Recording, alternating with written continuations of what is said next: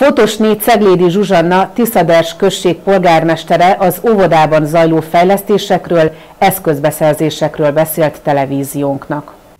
Tiszaderzsem az óvoda épületét újítja fel a település.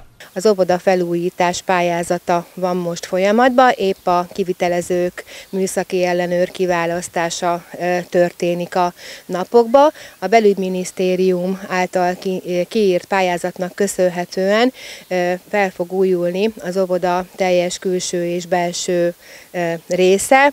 Külső szigetelést kap, járdát körbe ki fogják cserélni, belülről nyilázárók festése, burkolatfestés, fűtéskorszerűsítés, hiszen nem egy nagyon régi elavult fűtésrendszer volt az oviba.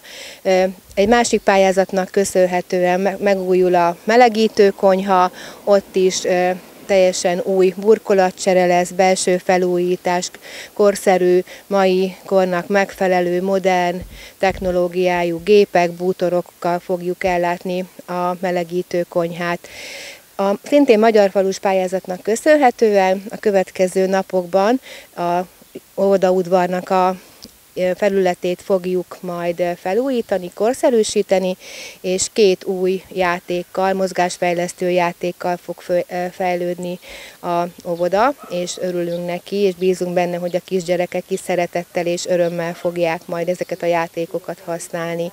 Úgyhogy a nyár folyamán egy nagy felújításon fog átalakulni az intézmény, és szeptember 1-én egy megújult külsővel fogja az ide látogató, idejáró kicsiny gyerekeket fogadni.